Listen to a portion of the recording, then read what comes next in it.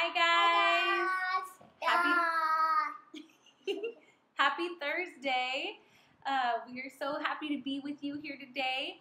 Um, today we are going to do a fun science experiment to learn about consequences because David, when he made his mistake, ultimately there were consequences. Now, when we do science, if we mix two things together, we get a reaction. And that's kind of like a consequence from us mix, mixing the two things together. We see what happens Hi. after.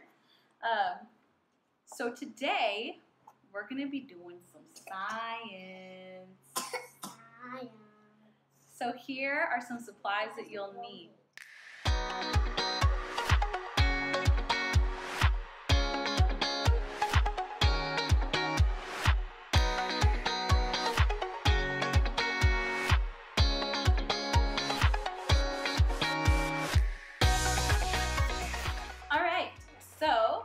In our water bottle, we have like about this much vinegar, okay?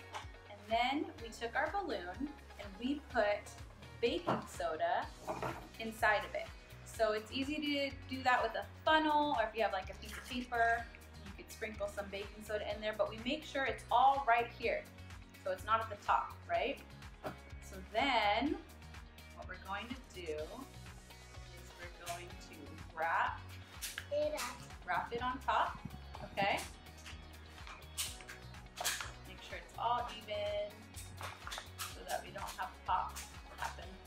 All right, Sophia, would you like to lift the balloon and pour in the baking soda? Whoa!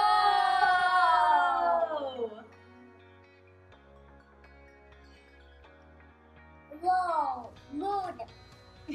balloon. And there you have it. We hope you guys had fun.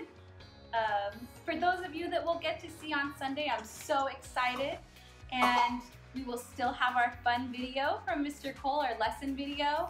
And we can't wait to see you, and we can't wait to keep on learning About what's next in the life for King David. Bye, guys. Say bye. Bye.